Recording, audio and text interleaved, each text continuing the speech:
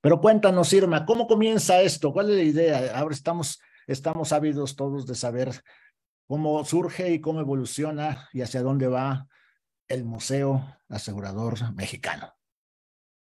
Bueno, buenas noches. Antes que nada, y un agradecimiento, Genuario, por la invitación y pues un gran saludo a todo tu público, porque yo sé que es grande. Entonces, eh, es una noche muy especial para el museo porque es la primera vez que se va a hablar en público, eh, transmitido de esta manera, de este gran proyecto. Pues mira, eh, esta fue una invitación que a mí me hicieron precisamente hace un poquito más de un año, Yanko Abundis y Octavio Núñez Mora. Yanko Abundis había tenido este sueño de formar un museo, ¿no? Algo como utópico, ahí lo tenía en su mente. Y, y lo tuvo en la mente durante ocho años. Y probablemente fue un momento preciso en el que coincidimos platicando Octavio y yo, y fue el que me, me introdujo o me presentó a Yanko. Eh, en un desayuno, fue maravilloso, nos caímos bien todos, porque eso inicialmente para, para progresar en un proyecto, bueno, pues es muy, muy importante. Y bueno, platicamos, Yanko pues me expresó todo su sueño, me interrogó, por supuesto, bastante tiempo ahí en el desayuno, de manera muy educada, pero indagando acerca de mis posibilidades. Y bueno, pues este, ahí fue la invitación. Tuve la gran oportunidad de, viajar, me apoyaron para ir a Londres. Yo tenía un viaje a España de estudios ahí de investigación coincidió y entonces eh, pues me apoyaron para ir a Londres, que eso fue me parece que uno de los puntos más importantes que han apuntalado la idea para mí, por lo pronto, en este proyecto. Conocí al presidente del Insurance Museum en Londres y al historiador que llevan a cabo, historiador, director que llevan a cabo este proyecto. Fue muy interesante porque ellos eh, me expresaron pues cómo había nacido esta idea de formar el museo, cuál había sido la inquietud. Y resultó ser que coincidentemente fue la misma inquietud que tenía Jan, esta inquietud de dignificar al sector asegurador. Cuando yo lo platico, cuando yo lo escucho y replico esta plática con él, con el presidente allá en Londres, eh, esta coincidencia fue algo muy particular. ¿Por qué? Porque realmente entonces fue cuando a mí se me abrió el panorama de la necesidad de un museo del seguro. Yo he estado metida en el mundo de los museos, por supuesto, en el mundo de la historia. Em, sin embargo, no me había quedado profundamente claro qué era lo que se necesitaba o por qué, el por qué de esta, conformar este seguro, este Museo del Seguro, perdón. Y entonces, al escuchar este eco, para mí se me abrió una grandísima visión. Se me posibilitaron grandes ideas, se me posibilitaron otros caminos distintos a los cuales yo como historiadora me había, había sido conformada. ¿no? Entonces, pues bueno, me quedó muy claro que, que el crear este, un espacio, pues entonces que cuente la historia de los seguros, que valore el presente y dignifique la actividad, ¿no? Eso es lo que para mí en, primero, en un primer momento se me puso en la imaginación. Entonces, pues bueno, como, como cualquier persona con la inquietud de conformar un museo, pues era mostrar esta importancia histórica de la realidad creativa de los seguros. Eso, eso fue algo extraordinario, realmente el darme cuenta que este sector, esta industria, como le llamaste tú desde hace ratito, este Genuario, eh, goza de una realidad creativa extraordinaria. Entonces, que a partir de este museo se pueden compartir pues todas aquellas capacidades, todos aquellos conocimientos que se aplican al desarrollo de cada una de las venas que consta el seguro. Y, el desafío, evidentemente, es enorme para crear algo que, pues, en, a través de los tiempos, eh, digamos, casi, casi equivale a un lugar al que hay que ir y, visitar solamente, ¿no? Pero en una época como la actual, hasta, ¿hasta dónde fluye o dónde se detiene un proyecto de esa naturaleza para efecto de llevar el mensaje que quiere llevar el museo hacia el mercado, su mercado objetivo, ¿no? ¿Hacia dónde va? ¿Desde dónde sale? ¿O desde dónde parte? Fíjate que eh, eh, me parece esta pregunta muy interesante porque no partimos de una idea egocéntrica, ¿no? A partir de una idea de yo quiero un museo o de, de se quiere este museo. No. Fíjate que se parte de la, de, del observar hacia afuera. ¿Qué se ha hecho afuera? Entonces, bueno, pues resulta ser que, hay una serie de instituciones eh, museísticas alrededor del mundo, las cuales pues ya han tenido esta, esta experiencia han desarrollado, algunas virtuales. Por ejemplo, voy a decir eh, el Museo Argentino del Seguro, que recientemente abrió sus puertas. Em, lo hizo en un brindis interesante, mostrando objetos, mostrando documentos, y esto se llevó al mundo eh, virtual.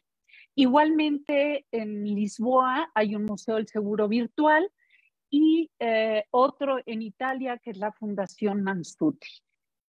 Y luego, eh, llevándolo ya a, lo palpable, a este mundo físico, pues está el Museo del Seguro de la Fundación Mafre en Madrid, el cual también tuve la oportunidad de conocer. Eh, extraordinario, un museo muy pequeño, pero con unas posibilidades extraordinarias, de verdad. Gozan de una cantidad de documentos que uno se va de espaldas. Es muy bonito museo.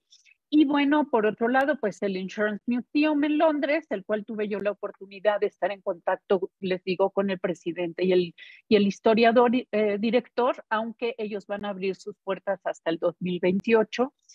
Y un museo sumamente interesante en Ningbo, China. Eh, este museo, fíjense que no nada más abre las puertas para mostrar y compartir el mundo del seguro, sino que hace, extiende esto más allá de sus puertas. Entonces, el proyecto fue verdaderamente excelso porque transforma toda una mentalidad alrededor del seguro, de la cultura del seguro em, de los habitantes. Es decir, no se queda únicamente en las puertas hacia adentro, sino que lo extiende esta cultura hacia los habitantes de la ciudad. Y se transformó, realmente es una ciudad eh, ejemplar por la, bueno, pues ustedes, ¿qué les puedo decir, verdad? ¿Cómo es posible que se extienda esta mano del seguro hacia las, hacia las economías? Entonces, bueno, no nada más parte de esta idea y este sueño, este sueño de Yanko de decir yo quiero un museo, sino además vamos indagando eh, un poquito más allá y viendo las experiencias del exterior. Y entonces, bueno, realmente em, lo que nos damos cuenta es que estas instituciones eh, en, el mundo, ¿no? Estas instituciones museísticas, pues están de acuerdo en el que el patrimonio histórico y cultural de esta industria del seguro en todo el mundo posee un grandísimo valor. Este legado puede desempeñar además pues un papel importante en la creación de una conciencia más profunda sobre la función y la necesidad de los seguros. Entonces, bueno, pues para nosotros extender esa, esa seguridad, digamos, hacia el extranjero, eh, esta visión también de qué están haciendo en otros lados del mundo, pues nos posibilitó el tomar seguridad en este proyecto. Obviamente para un proyecto de este tamaño, pues hay que ir sumando voluntades. Eso no queda otra. ¿Cómo ha sido la experiencia de ir justamente eh, atrayendo el interés y la participación de, de, digamos, ahora sí que no sé si de las empresas o las personas, los organismos que hasta ahora han mostrado justamente esa solidaridad con ustedes? Fíjate que hemos tenido una gran respuesta a, a, todas las personas que les hemos ido platicando, claro, desmembrando bien la idea del museo, les ha parecido pues maravilloso, lo cual, bueno, pues nos da muchísima eh, aliento para seguir adelante. Sin embargo, fíjate que me parece también interesante esto porque las personas que, con las cuales hemos tenido contacto, eh, siempre se piensa que para un museo, pues lo importante es la cuestión económica, pero por supuesto que sí, no hay ningún museo en el mundo que se sostenga por sí mismo. ¿eh? Tiene que ser a partir de la voluntad de los demás, ya que hay una gran, espero que haya una gran voluntad alrededor. Pero no nada más es eso, sino también cautivar a las personas para, para que cooperen, para que eh, participen, digamos, en toda esta creación de la, de la, eh, de la colección. Eh, estamos hablando de que el patrimonio histórico no únicamente son los documentos, no es nada más esa historia que podemos encontrar tangible en los periódicos, en los medios, en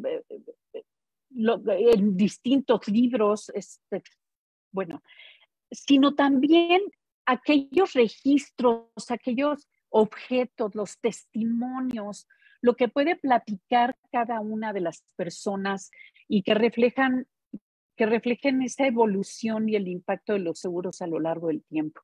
Entonces, estamos hablando, Genuario, de que son tenemos dos, em, dos frentes para poder cautivar.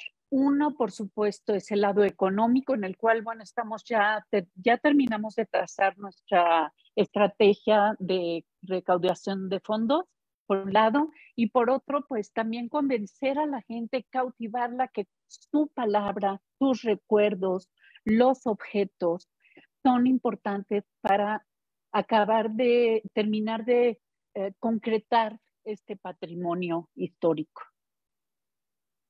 El seguro no goza de manera natural de un prestigio que dijéramos, wow. si yo entro o si yo entrara de alguna manera al museo, al museo imaginado, sí. ¿con qué saldría yo? Si yo entrara a ese museo podemos dar la respuesta a distintos enfoques, distintos públicos, ¿no? Hablábamos hace ratito de la, de la dignificación de la profesión, ¿no? Entonces, em, pues dignificar la, la, actividad aseguradora implica elevar eh, su valor, su prestigio, ¿no? Dentro de la sociedad y reconocer su importancia pues también en el bienestar económico y social. Esto lo tendría que expresar el museo. Por otro lado, dignificar pues implica mejorar la percepción que se tiene sobre la actividad, ¿no? Eh, por ejemplo, destacar su función que es la protección, la mitigación del riesgo, expresárselo a la gente, para que sea reconocible. Em, y bueno, pues, ¿cómo, ¿cómo se puede lograr esto? Pues eh, a través de la difusión de casos de éxito, ¿no? Que demuestren el impacto positivo de los seguros. Em, dando a conocer realmente las entrañas de los seguros. Em, por ejemplo, visualizar cómo, cómo este museo puede ser un impulsor en tanto estos públicos de los cuales estamos hablando. Por ejemplo, no nada más el sector, que el sector se dé cuenta de la dificultad de la inteligencia y de la creatividad de las cuales tienen que gozar para estar presentes, a la sociedad darle un sustento un poquito más allá de lo que sería la experiencia inmediata de la gente. ¿Qué sucede en el interior de los seguros? ¿Qué es una gestión de riesgo? ¿Cómo se reconoce un riesgo? ¿Cómo se elabora un seguro? Por otro lado, para no extenderme, los estudiantes, el descubrir nuevos talentos. ¿Qué, va a ser nuestra misión allí? Cautivarlos y decirles, oigan, aquí hay trabajo para todas las profesiones. Así lo dice Pepe Covarrubias, ¿no? Que él no conoce ningún otro sector en donde se necesiten tantas profesiones como en el mundo de los seguros. Entonces, bueno, pues ser transparentes en lo que estamos hablando, ponerlo a la gente a su disposición, hacerlo a través de reflexiones, de, de aprendizaje fortalecido, ¿no? y además pensando que lo más importante en este museo van a ser estos públicos, la sociedad, los estudiantes y por supuesto el sector asegurador.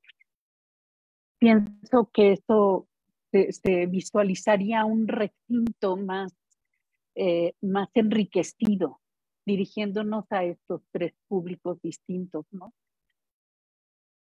En, el, en este proceso, por ejemplo, insistiría yo en la visión justamente que se tiene del proyecto, en la imaginación necesaria para desarrollarlo, porque habida cuenta que hoy la tecnología es un recurso que puede ser muy importante, me llamó la atención en algún momento la itinerancia de un museo, o sea, un museo itinerante hasta dónde puede llegar ese museo para que no tenga yo que venir a la Ciudad de México a determinada calle y número para poder observar todo lo que tú nos dices. Sí, eh, bueno, esta es la segunda fase, el segunda, la segunda fase del sueño. Este museo itinerante dividido en dos maneras. Eh, primero, un tráiler, ¿no? Este, este tráiler en donde va a llevar una pequeña parte del museo a la República, a quien pida estar ahí y que la gente pueda participar en él, que por supuesto a través de la interactividad no se puede a través de otro medio y además creo que sería un modo también, voy a abrir un paréntesis, de cuidar nuestro mundo. La interactividad tiene ese modo de utilizar un solo artefacto a lo largo de 10 años y cambiar sus contenidos. Entonces, en este tráiler, llevar a la gente pues algunos temas propios del museo, históricos, de valores del presente, una temáticas de desarrollo hacia el futuro, por ejemplo. Por otro lado, pues tendríamos una petaca, ¿verdad? Esta maleta viajera en la cual pues va a ir a donde le inviten. Eh, ya sea convenciones de seguros o los congresos, etcétera, y en esta pequeña maleta pues llevaremos temas eh, y una presentación propia del museo para que la gente lo vaya conociendo. Y por otro lado, Genuario también pues hacer uso de estas nuevas tecnologías. Bueno, no son, no son tan nuevas tampoco. Nos dimos cuenta en la pandemia que podemos hacer uso de tantas otras tecnologías y hacer uso de ellas realmente y exponer a la gente el conocimiento del propio sector asegurador, eh, que las personas se acerquen con nosotros para compartir sus conocimientos. Por ejemplo, hablar del microseguro. Por ejemplo, hablar del colegio de actuarios. ¿Qué significa eso para nosotros? Em, cómo imparten sus conocimientos en las instituciones de enseñanza superior y cómo podemos hacerlos partícipes dentro del museo también. Entonces, eh, realmente tenemos toda una gama de posibilidades para extender este museo y que no nada más pensemos en un museo físico. Claro que lo va a estar porque pues eso es lo más sabroso. Nos, esta, estos años de encierro nos eh, nos abrieron los ojos para darnos cuenta de lo sabroso que es visitar los lugares, lo sabroso que es que es que nos cautiven, ¿no? Entonces, visitar y compartir con otras personas, por supuesto, pero también pues los medios digitales, el tráiler y la petaca, pues estarán a nuestro servicio para, para expandir este, este conocimiento. Oye, Irma, Irma Dugelvin, ¿y para cuándo tendremos ya la posibilidad de ver concretado este sueño, este sueño del que nos estás platicando, del Museo Asegurador Mexicano? Eso está muy difícil. Eso es difícil de, responder porque aunque tenemos una, una muy buena respuesta por parte del entorno de asegurador, eh, por los tiempos que estamos viviendo, la gente necesita tener seguridad. Y en este sentido es lo que nosotros hemos ido aportando paulatinamente para que la gente tenga seguridad de participar y de colaborar con el museo. Entonces, pues yo diría que para diciembre del 2024 podríamos tener un museo ya montado. Eh, pero bueno, pues hay muchísimos eh, elementos alrededor, muchos factores que van dictando los tiempos de manera distinta. Así Bueno, antes, de que aquí con todos los compañeros eh, planteemos algunas preguntas adicionales, yo me referiría en este momento a la etapa que, que está entrando justamente eh, este proyecto, que es justamente la captación de recursos. Porque, según veo, hay diferentes formas o diferentes figuras que pueden participar como donantes. Yo creo que ahí justamente pues es todo un trabajo, trabajar enorme, eh, evidentemente porque nos gusta a veces una idea, pero ya cuando tenemos que abrir la cartera o la chequera o lo que sea, ya como que de pronto este, entra un poquito el freno, ¿no? Cuéntanos un poco acerca de justamente eh, cómo fondear o cómo realmente financiar eh, un proyecto. Normalmente nosotros tenemos sueños de toda naturaleza y hay veces en que pues el tema de los recursos nos detiene. Pero no creo que en, que en un proyecto como estos vayamos a detenernos. Simple y sencillamente que podrá recorrerse el tiempo, pero de que se hace, se hace, por lo menos es mi visión. Eh, mira, en, en este caso de este museo se establecieron dos etapas para poderlas diferenciar con claridad. Y dependiendo de estas dos etapas, bueno, pues es la participación de los donantes. En primer término, pues está la apertura del museo, el abrir las puertas de nuestro museo. Eh, para esto, pues necesitamos eh, en un tiempo eh, corto, digamos, son ocho meses, dinero suficiente para realizar el proyecto y llevarlo a cabo, edificarlo, como dijiste tú, construirlo, abrir sus puertas. Esta es una primera etapa y a esta etapa estamos invitando a las compañías de seguros a participar como nosotros le llamamos unos ladrillos. Y le pusimos nombre a cada uno de estos ladrillos según la cantidad de dinero en las cuales ellos están eh, posibilitados para contribuir.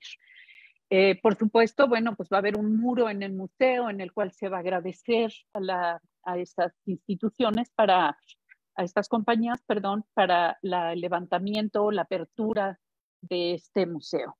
Este pedacito eh, de tiempo es realmente complejo porque es en donde se necesita la mayor carga económica y también la mayor carga de la participación de las personas en la colaboración en documentos, como les decía, para lograr la colección y la investigación. Eh, parte de ella, no, no, no nada más va a ser eh, la participación de las personas y la colección. Eh, esto también nos va a permitir enlazar con otras instituciones, como ya lo hemos hecho, déjenme les platico un poco, ya mm, tenemos lazos hechos con un historiador de la Swiss Re eh, en Suiza. realmente hemos tenido una gran conversación, han sido muy generosos con los documentos que han enviado. Por otro lado, Alsum también ya em, eh, nos ha dado revistas y documentos alrededor de la pues de todo el seguro reaseguro eh, marítimo en fin puedo seguir hablando de ello pero ya hemos tenido estas relaciones con el Colegio de México historiadores del Colegio de México este eh, de la náhuac en fin todas estas personas en las cuales van a contribuir para el lado de la investigación.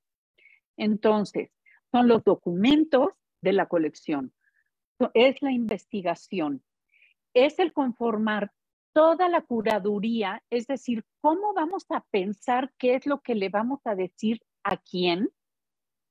Y así se va trabajando la curaduría para armar al final la museografía, que es la puesta en escena. Cuando tengamos ya decidido el foro en donde se va a llevar a cabo el museo, donde se va a montar el museo, pues entonces la curaduría y la museografía se irán trabajando de manera simultánea. Todo esto, esto es para abrir las puertas del museo. Es el momento más crítico, el momento de mayor investigación, el momento de mayor aportación económica. Allí son los ladrillos de las compañías de seguros para la construcción del museo, digamos. Y luego viene ya el día a día, la operación propia del museo, en donde vamos a invitar también a colaboradores, compañías de seguros, em, quien quiera dar una aportación regularmente fuerte, regular, y a los amigos del museo. Los amigos del museo, ¿quiénes van a ser? Los más importantes para nosotros son todas las personas que forman el, se conforman el sector asegurador y que con su contribución, ya sea mensual o anual, la cantidad que la gente quiera aportar, con un compromiso, cierto compromiso, con ello se va a poder mantener eh, abiertas las puertas del museo, operar el museo. Entonces tenemos el lado fuerte, los ladrillos, los eh, donadores importantes y los amigos del museo, en donde cada uno, según la posibilidad, ¿no? Y el compromiso que quieran adquirir, bueno, pues podrán participar. ¿Cómo Entonces, bueno, pues... Sí, adelante, adelante. Perdona. Ahorita los amigos del museo pueden empezar a participar, comenzar a participar y ese dinero va a estar destinado a la operación del museo. Eh, ahora, estamos en un paso crucial en donde em, estamos ya por tener la cuenta bancaria, ya estamos casi en orden por completo del museo. Esto da mucho gusto porque en México toma muchísimo tiempo estos trámites y en cuanto la cuenta bancaria esté abierta, vamos ya a lanzar una página en internet en donde puedan hacer las donaciones según el nivel en donde cada quien quiera participar. Pues qué interesante realmente lo que nos, eh, nos comparte Irma.